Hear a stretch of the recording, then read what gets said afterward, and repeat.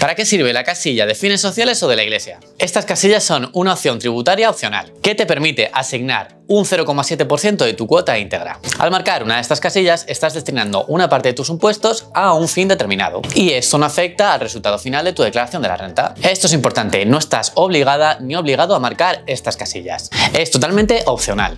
¿A dónde va mi dinero si marco la casilla de fines sociales? En este caso estarás apoyando organizaciones no gubernamentales, es decir, ONGs, que trabajan para ayudar a personas en situaciones de vulnerabilidad. Estas ONGs tienen proyectos para ayudar a personas mayores, a personas con movilidad reducida y a jóvenes en exclusión social. ¿Qué hará tu contribución? Ayudar a estas personas.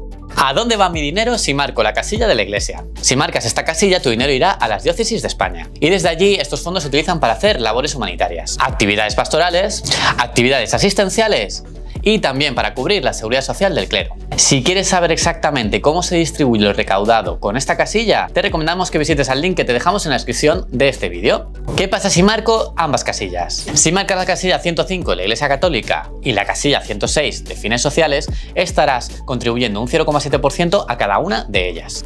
¿Y qué pasa si no marco ninguna de las casillas? Si no te sientes solidario y no quieres ayudar ni a la Iglesia Católica ni a las ONGs, marcarás que no quieres aportar a ninguna de ellas. En ese caso, tu cuota íntegra, ¿a dónde irá? A los presupuestos generales del Estado. Eh, por cierto, como dato curioso, la mayoría de los contribuyentes que residimos en España marcamos esta última opción. Eso quiere decir que la mayoría estamos financiando los presupuestos generales del Estado. Y por cierto, no hace falta que te lo diga porque ya te lo podrás imaginar, pero la mayoría de la gente marca esto sin saber realmente a dónde va su cuota íntegra. Y hasta aquí el vídeo de hoy. Si os ha gustado, por favor, dadle al like, que estos vídeos cuestan hacerlos, y suscribiros al canal para saber más sobre fiscalidad. Y espero que este vídeo os haya servido para entender un poquito más de qué van estas casillas. Chao, chao.